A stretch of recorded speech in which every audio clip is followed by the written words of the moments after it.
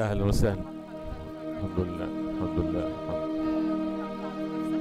دكتور عمر البهي أستاذ القلب في جامعة في معهد البحوث الطبيه جامعة اسكندرية.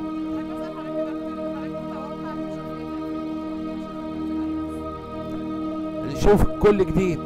كالعادة هم يعني كل سنة بيبقى فيه يعني تطور أفضل يعني.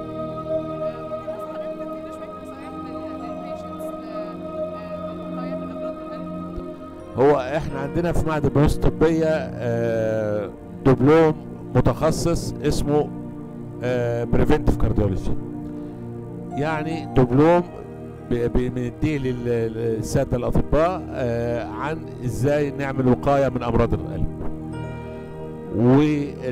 وملخص ال- آه، أو اهم حاجات الوقاية اللي المفروض العيانين آه، يهتموا بيها ال exercise. الرياضة.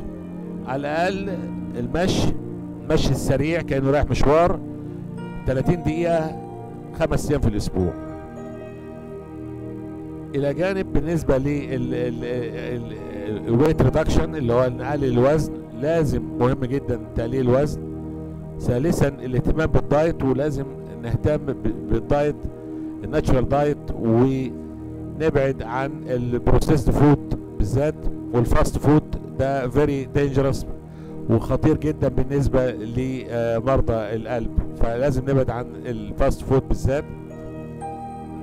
آه، بعد كده أهم بالنسبة للضغط لازم آه، المريض الضغط لازم ياخد العلاج الضغط مظبوط بحيث ينتظم الضغط مظبوط علاج الدهون لازم يبقى مظبوط علاج السكر.